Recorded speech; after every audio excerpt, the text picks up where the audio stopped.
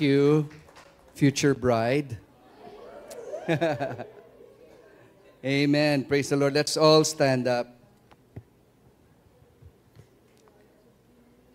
Uh, I am a little bit concerned about this message, a message this morning, because I because Lord, I haven't done this in church in all the 40 years that I've been in the ministry, and uh, this will be the first time. So uh, I don't know if you have notes, because we're going to just just go dive deep into the scripture. Uh, are you ready to go through the whole book of Revelations in 15 minutes? That's what we're going to do. Because last week we talked about why is Jesus coming? What is the most important reason why? What is the motivation behind the Lord? I mean, he he died on the cross, he paid for our sins. So why all this end of time issue? And I I, I went through the motions of trying to make us understand that it's not a horror story, it's a love story. That the Lord is coming back for us. And the reason is because He misses us and He loves us. And I told you that from the very beginning, the uh, book of Genesis, uh, the first two chapters and the last two chapters in the book of Revelation, we see how God's going to do a reset in the whole of the heavens and the earth. So if you haven't heard the message, I suggest you go to our YouTube page and, and try to listen to it one more time so you can be refreshed, no? Okay. Now we're going to talk about some things that can be controversial uh, or have been uh, a point of discussion in many of the body of Christ, in the, many of the churches throughout the years. And uh, I, I will not espouse a particular stand, but I'm going to try to give you a clear understanding so that when you go home, if just in case the rapture happens and you get left behind, you will know what to do. I hope not. Pero then you will know exactly what is really going to happen. Okay? Let's pray. Father, we thank you that we can be students of your word.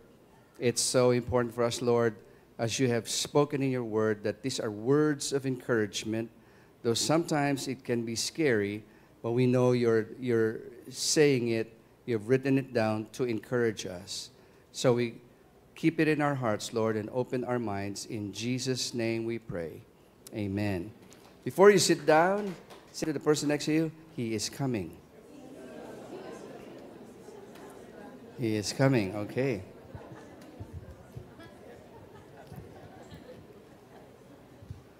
Okay. I had a chance to stand at the Mount of Olives and uh, where exactly, supposedly, where Jesus left the earth talking to his disciples. And siyempre, nandun kami with a group of other tourists.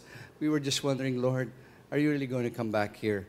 And then there are many references that you can find out because at the Mount of Olives, you're overlooking the old city of Jerusalem, and right in front of you is the Golden Gate, which, if you read in the book of Ezekiel, the Messiah is going to come through the Golden Gate.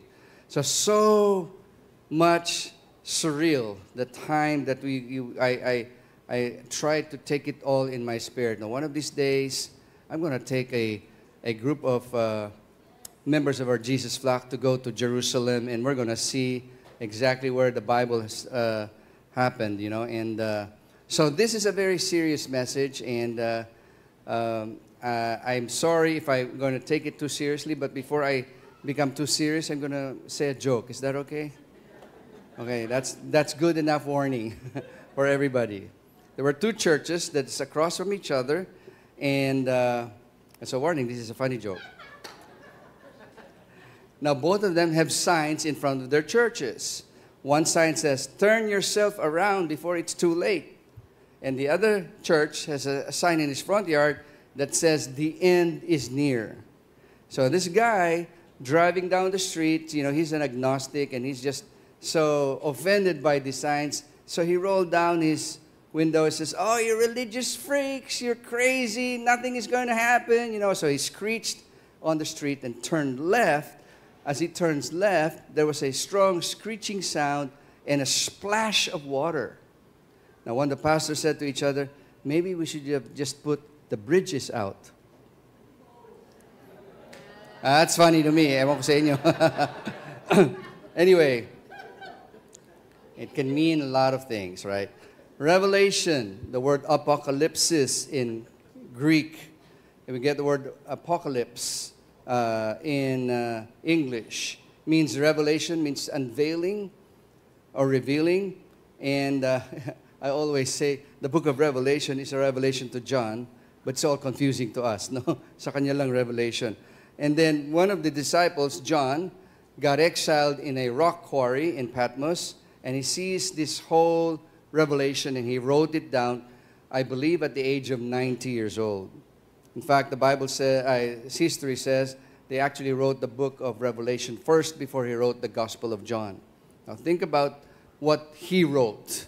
And this was written to the churches during that time and for our time. Chapter 1, Jesus shows up in a glorified form and uh, you know, he hang up, hang out with Jesus for three years. He knew exactly how Jesus looked like, but when Jesus appeared to him, it was different. His hair is white as wool. He had, uh, you know, a white garment, and his feet are like bronze, and there's a sword coming out of his mouth.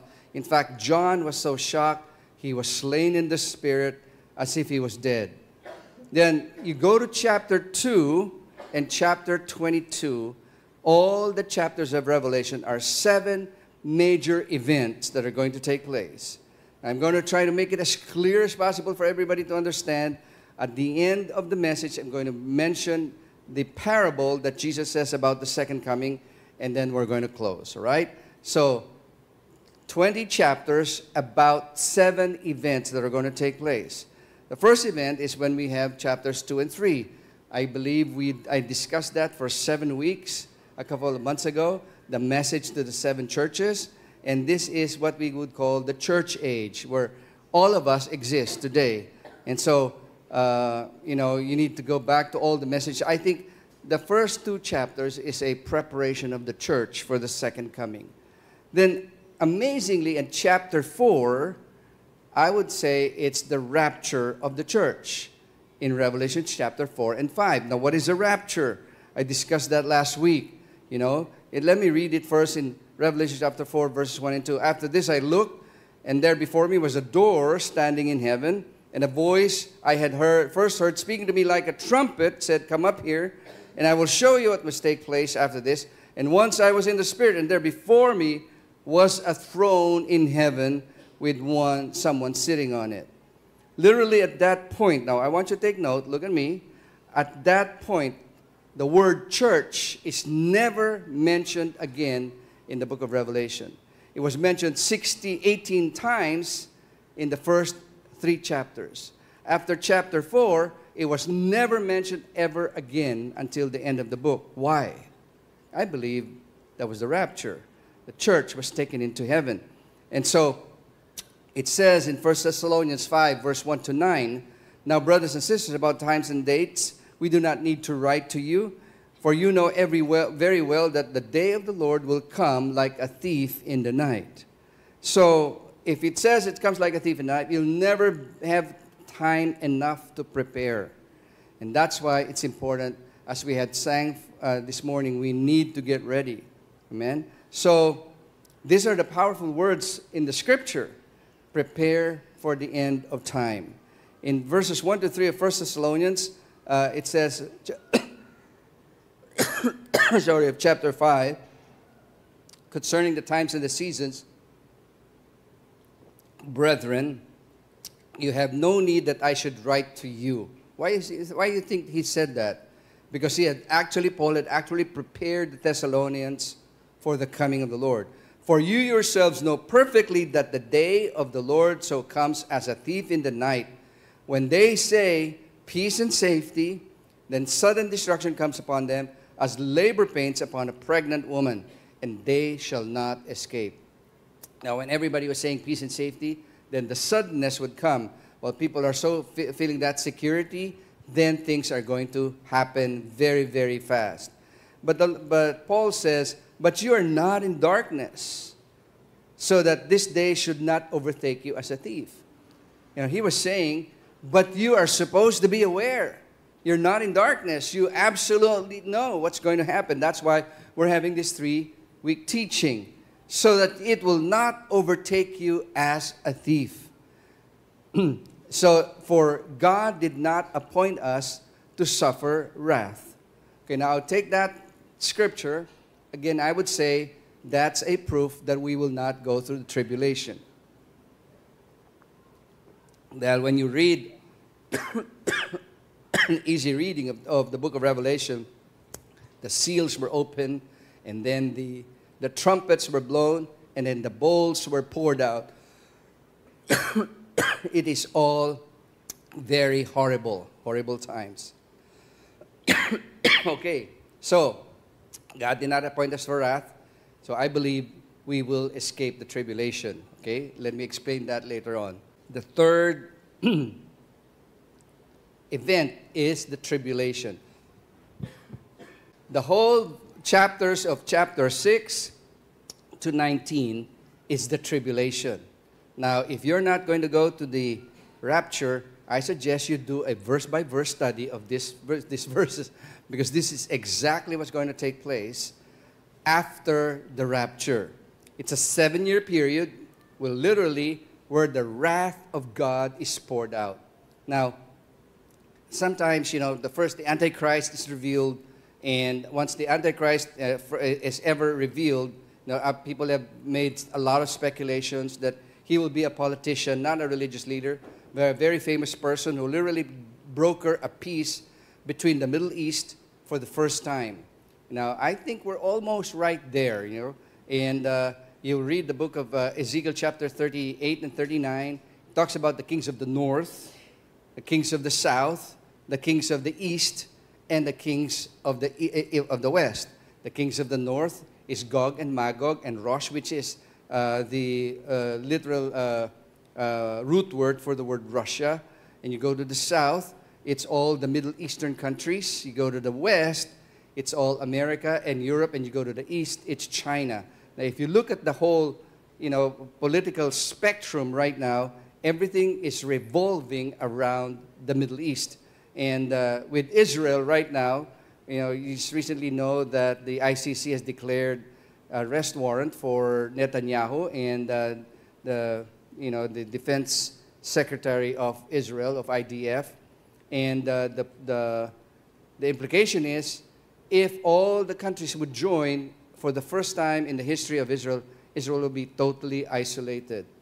Now that seems to be a preparation. I'm gonna, you're going to see why it's going to happen because something is going to happen at the end of the tribulation. Second Thessalonians chapter 2, verse, verse 7. For the secret power of lawlessness is already at work. Now, this, is, this verse tells me that the Antichrist hasn't come up yet. Why? Because of this verse. For the one who holds it back will continue to do so till he is taken out of the way. Who holds back the evil and the lawlessness in the world? It's the Holy Spirit. And it says here, it implies here, the one who holds it back will continue to do so until he's taken out of the way. So the one, the Holy Spirit, there will come a time when the Holy Spirit will be taken out of the earth, and then there will be continuous lawlessness, and things will really go crazy. Now, where is the Holy Spirit? The Holy Spirit is in us, right? So that's why I believe we're going to be taken away. Because if we are taken away with the Holy Spirit, then uh, the lawlessness and the Antichrist will be continue, will be uh, finally have the freedom to be revealed. So that's to me another proof that we will join, we will not go through the tribulation. now, I think if you would have time when you get home, read chapter 6 up to chapter 19. Everybody has a Bible. You can have a simpler version that you can read, but read those chapters and you'll find out how graphic, uh, sometimes metaphoric, is the, the terms that are used. They have eagles and dragons, you know, and beasts, but it is all described there. But some of the words, I want you to imagine this. This is John. John lived 2,000 years ago. No nuclear weapons, only uh, swords and arrows and shields. So he has no idea what he is looking at. he says huge, gigantic locusts could actually mean helicopters.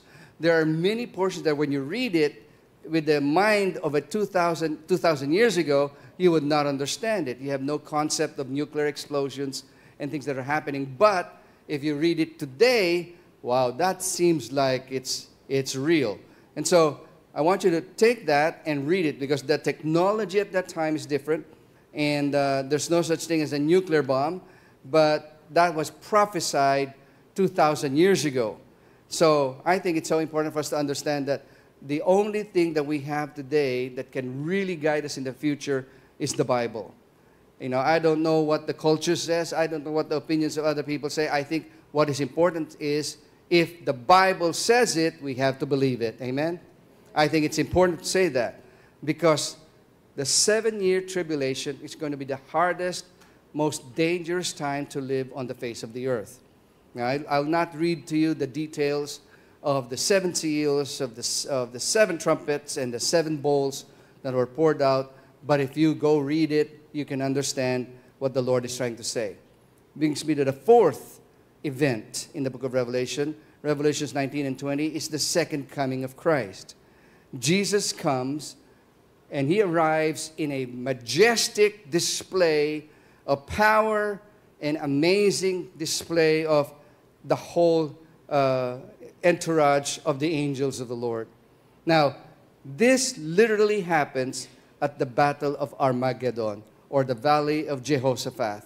Now, I just I can only say at this point that that battle is where all the nations of the earth will come and gather and unite to destroy the one nation in the Middle East, which is Israel.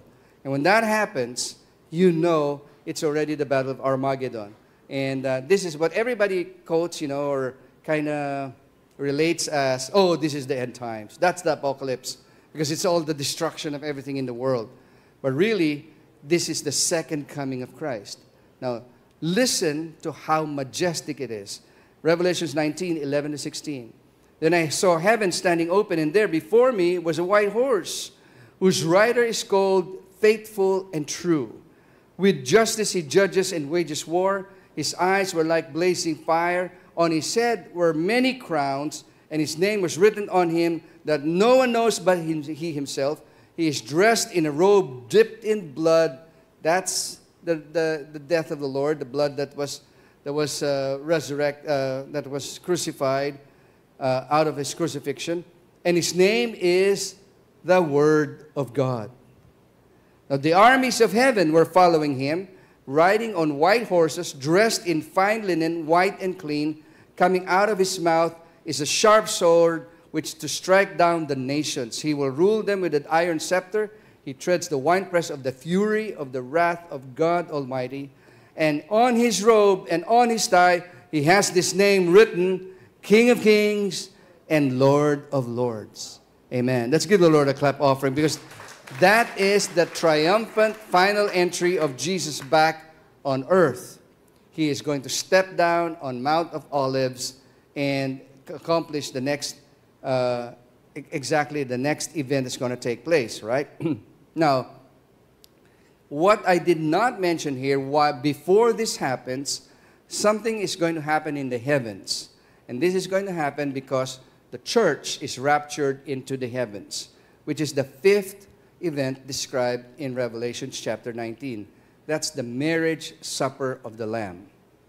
Marriage supper of the Lamb is a feast of the church and Jesus. It's really like a wedding reception.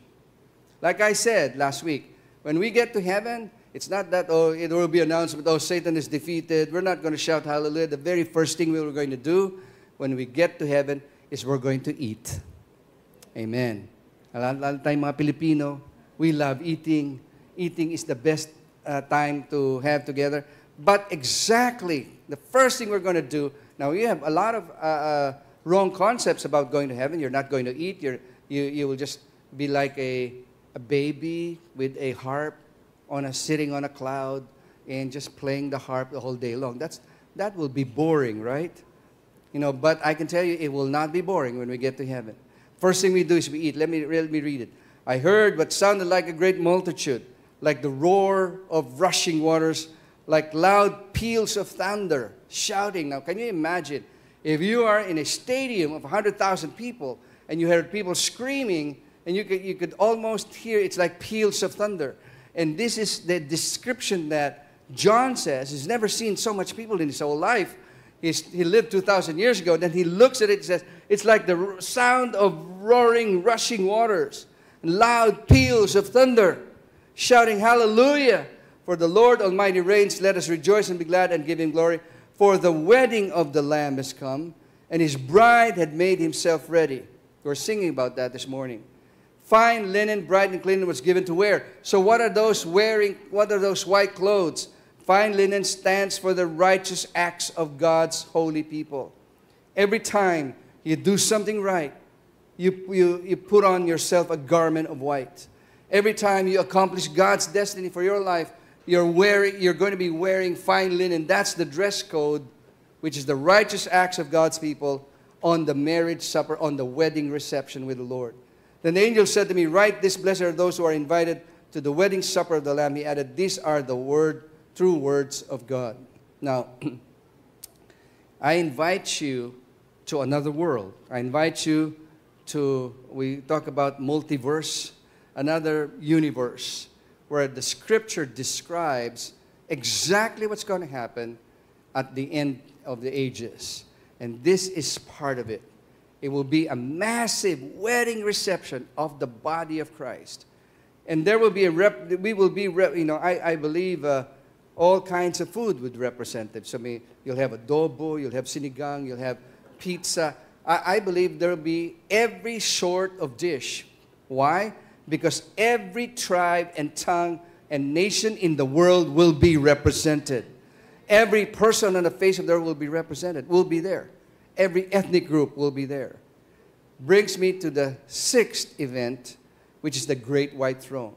Great White Throne found in Revelation chapter 20. You know why it's called the Great White Throne? Because it says, Then I saw a great white throne.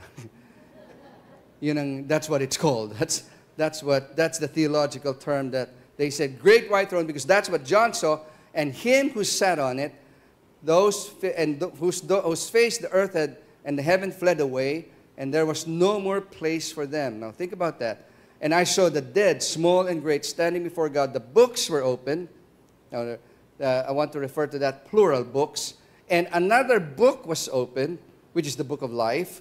And the dead will be judged according to their works by the things which were written in the books.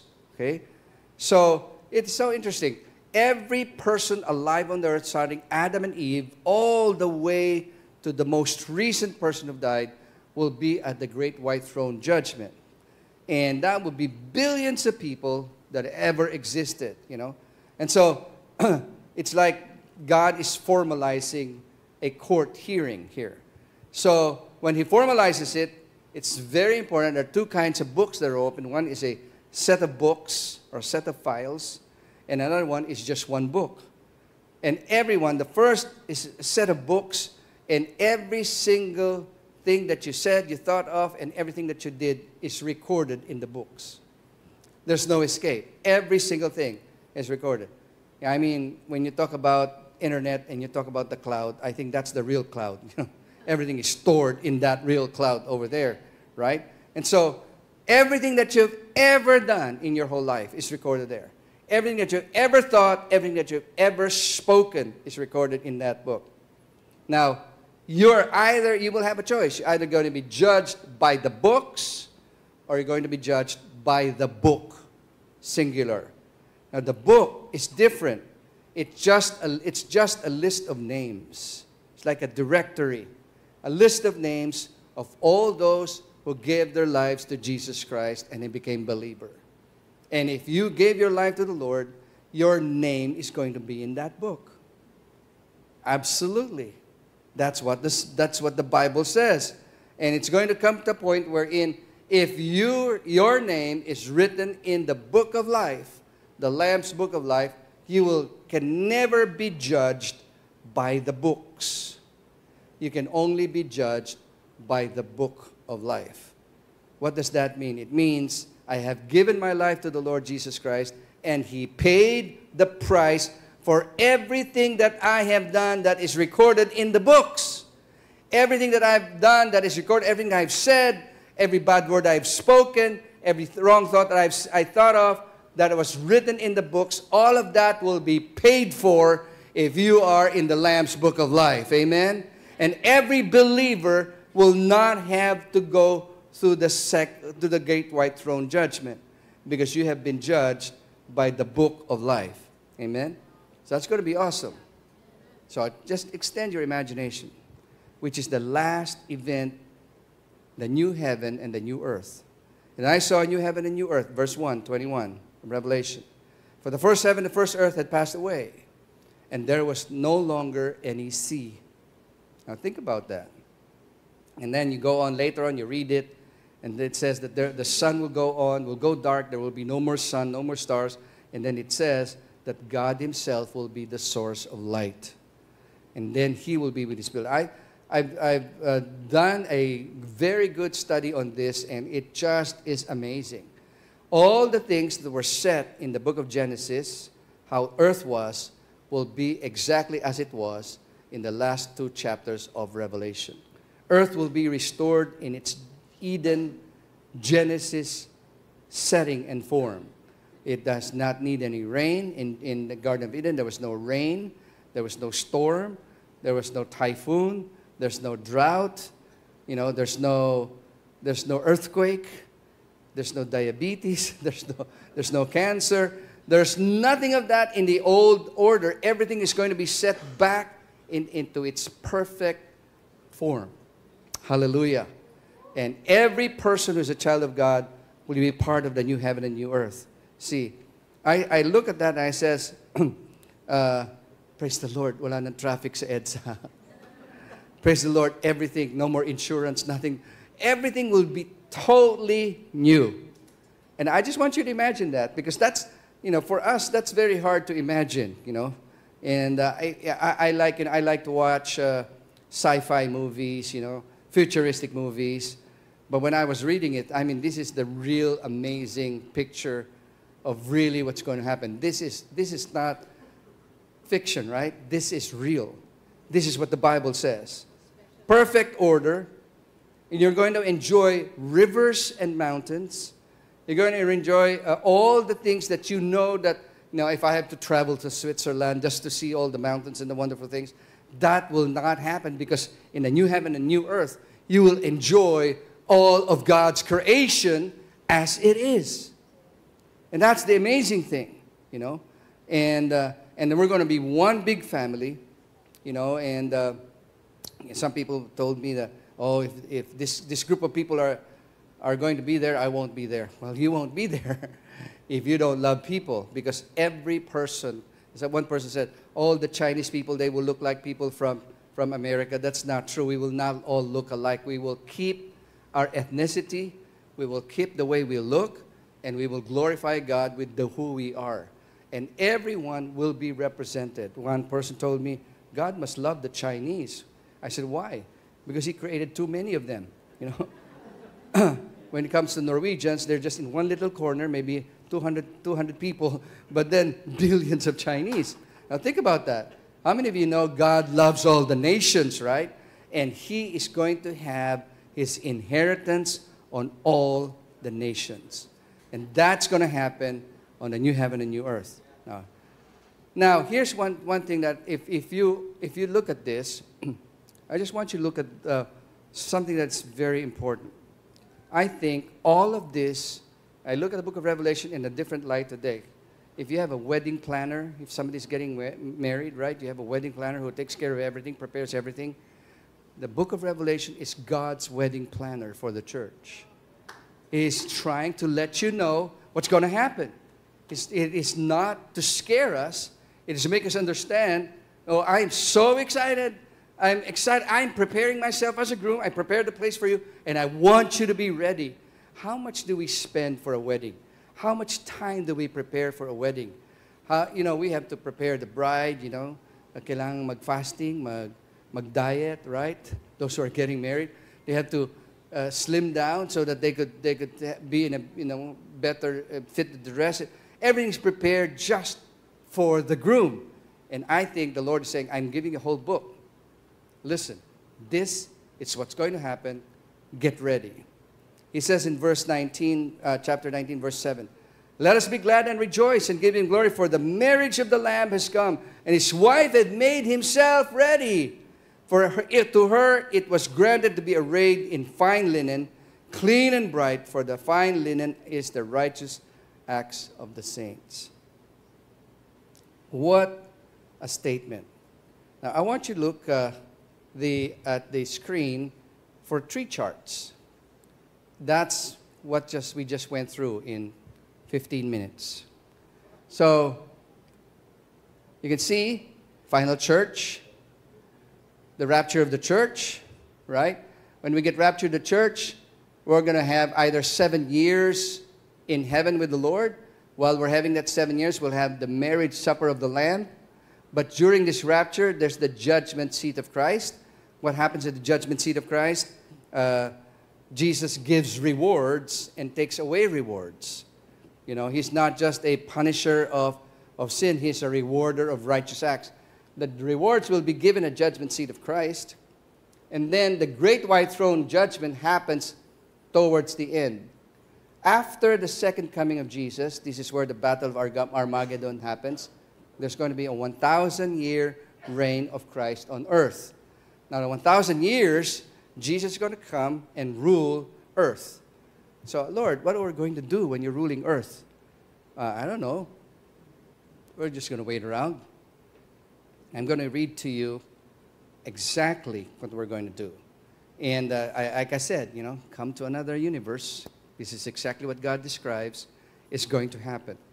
But at the end of that 1,000 years, Satan will be bound. At the end of the 1,000 years, Satan will be released for a moment, and then Jesus is going to come and totally destroy all of Satan and all of the demons and throw them into the lake of fire.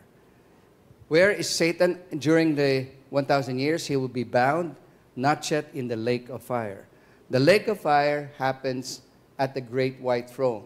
So I just want you to, you know, there's a lot of verses involved, and you can actually do a whole semester teaching all of this, but I'm just trying to give you a summary of what happens, right? The battle of Armageddon, again, happens at the second coming of Christ, but there will be another battle at the great, before the great white throne when Satan is thrown to the lake of fire. Okay? Malino ba? Now that's as clear as I can put it, the whole book of Revelation. Now, here's the controversy. Some people don't believe that we will be raptured here. This seven year tribulation is seven years, three and a half years is going to be time of prosperity. Another three and a half years is going to be time of all the bowls and, and the trumpets and all that pouring. And some, some Christian says that the rapture is going to happen in the middle. Let me show the second chart. So the rapture happens in the middle of the tribulation after three and a half years.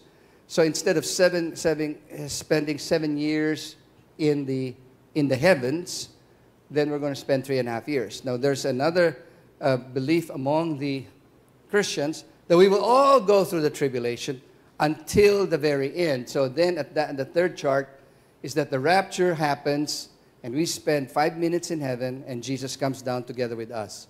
You know. So it's just like a coffee break in heaven. now, I don't know what you believe in, but I have no proof of this. Go to the second, balik tayo to second. I have very little proof of this, but on the first, that's exactly what I feel. This has more proof on this that we are all going to be raptured before the tribulation. Amen. I think that deserves a clap offering, you know. I think we believe that God's going to. Why? Because we are not appointed for wrath. God is not appointed us for wrath. And ang description sa last three and a half years of Revelation is God is going to pour out the fury of his wrath on earth. Now, uh, again, I, I, if you just read it for yourself, it's so, so hard to just, you know, uh, get all the words because it, it says that uh, uh, one fourth of the earth will be dead, the is going to turn red, there's going to be a, you know, locust is going to come. It's just, this is scary things, you know, scary things. Okay.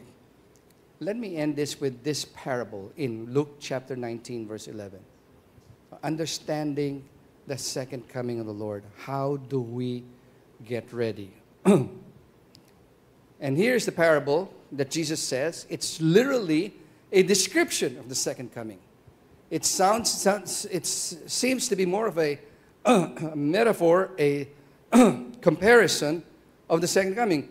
While they were listening to these things, the disciples, Jesus went to tell them a parable because he was nearing Jerusalem and they supposed that the kingdom of God was going to be, appear immediately. So, two reasons why he tells the parable because they're coming to Jerusalem. Jesus is going to be crucified in Jerusalem. And number two, they believe that the kingdom is coming already. So, Jesus has to tell this parable, right? So, in the parable, it says, verse 12, a nobleman, listen carefully, nobleman went to a distant country to receive a kingdom for himself and then return. Now, definitely, that nobleman refers to Jesus. He leaves and then he is going to come back, right? The phrase to return. Verse 13. And then he called 10 of his servants and gave them 10 minas and said to them, Do business with this until I come back, right? Servants is referred to as believers, right? Believers, servants. Minas is one mina is two and a half years' salary. Now think about that. Your salary is 10000 a month. One year is 120000 Two years is 240000 Two and a half years is, yun, alam niyo na yun. and then he gave it to each and every one. Two and a half years' salary. And he says, do business, do the work until I come. But then there's an extra, uh, that's an insert in verse 14. But the citizens hated him, the nobleman, and sent a delegation after him saying, We do not want this man to reign over us.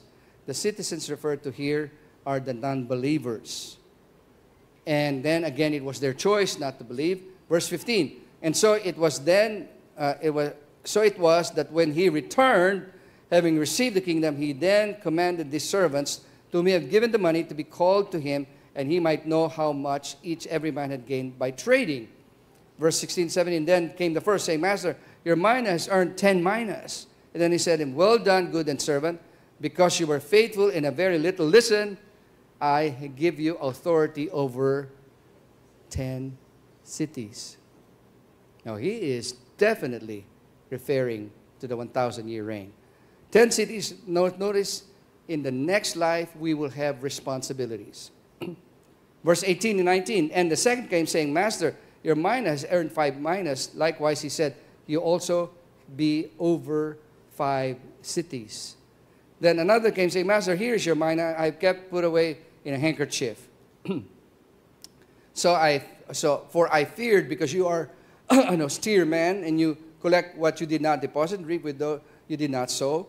And he said, Out of your mouth, own mouth, I will judge you, you wicked servant. You knew that I was an austere man, collecting what I did not deposit, reaping what I did not sow. Why then did you not put my money in the bank, that at my coming I might have collected it with interest? And he said to those who stood by, Take the mina from him and give it to the one who has 10 minas. What's the moral of that story? You know, it's not when the Lord, before he returns, he will not reward laziness. He will not reward persons who will not work. He will make sure that all those who serve him will be completely rewarded. Now, I don't know if you remember, I discussed this four years ago when I talked about the second coming. But I had not completely related it to all the things that are happening in the book of Revelation. In verses 25 and 26, but they said to him, Master, he has 10 minas. The one is given another 10 minas. For I say that to everyone who has will be given, and to him who does not have, even what he has will be taken away from him.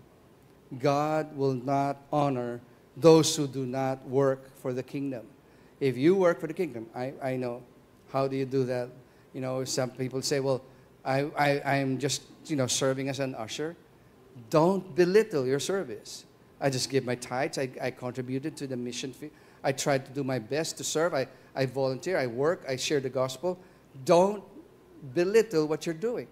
Because God has an accountant in heaven, and He counts whatever you does. And when He comes back, the first thing He would say, What have you done with all the gifts that I have given you. So, In verse 27, but bring here those enemies of mine, the citizens, the unbelievers, who did not want me to reign over them and slay them before me. okay, that's a summary of the millennial reign, if you think about it. And I want you to understand very carefully right now, because next week we'll talk about when is he coming.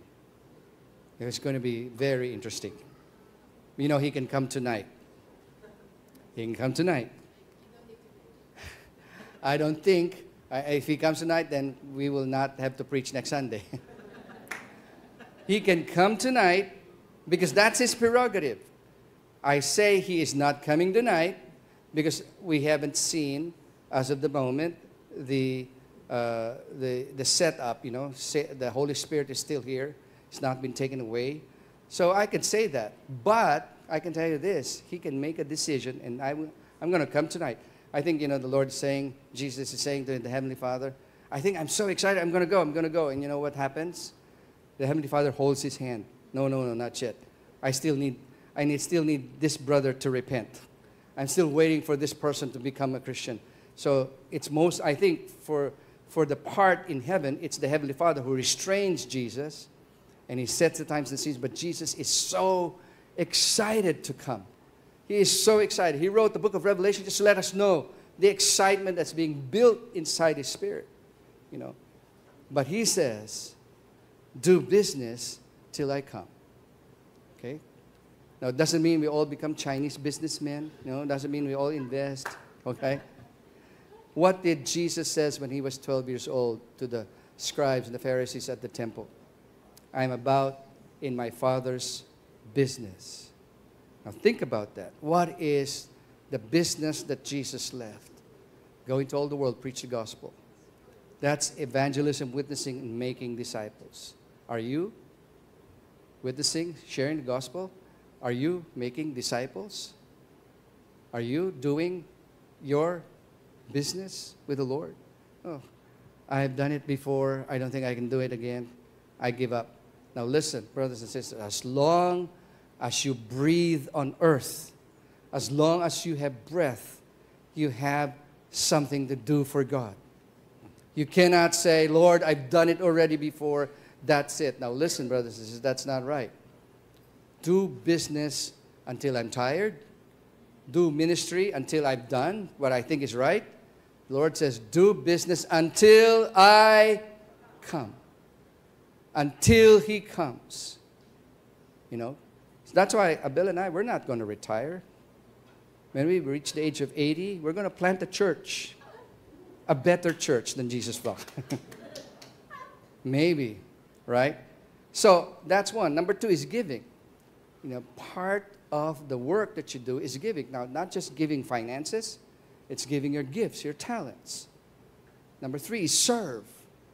Now, how do you serve? is serve in the body of Christ. Last week I discussed why it's important to be a part of the church. The second coming, the, the, the warning that Jesus says, do not despise the gathering of believers or the assembly of the believers, is in the context of the second coming.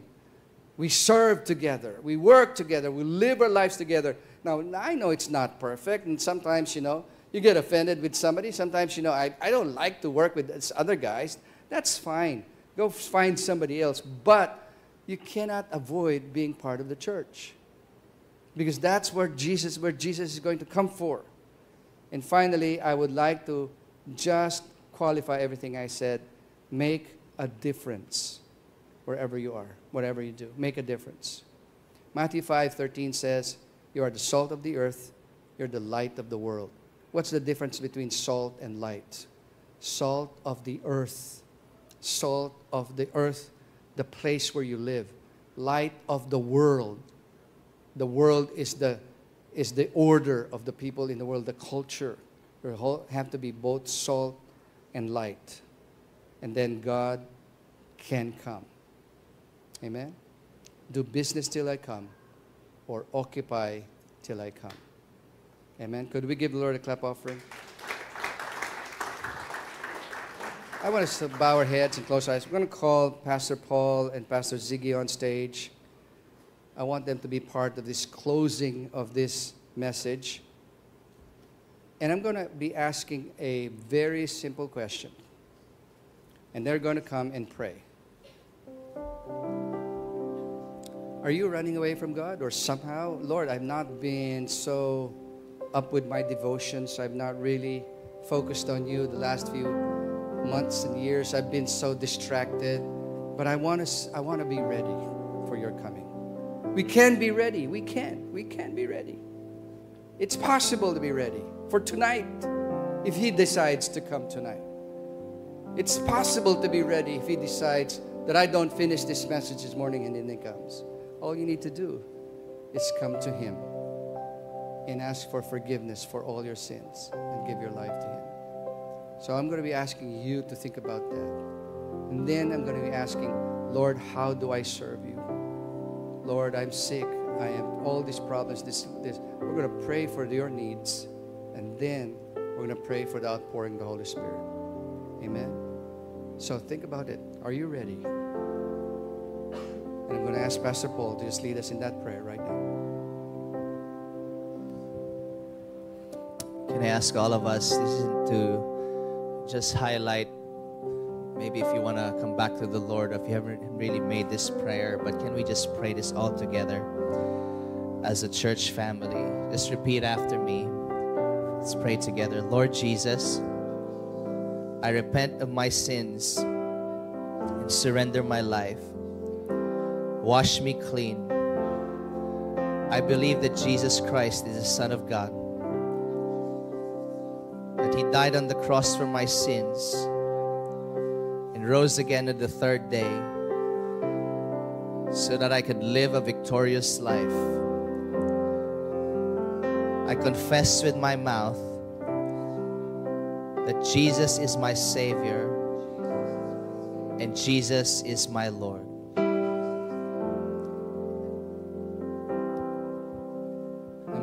Pastor Siggy to just pray for the Holy Spirit and those who need healing. Hallelujah, Jesus.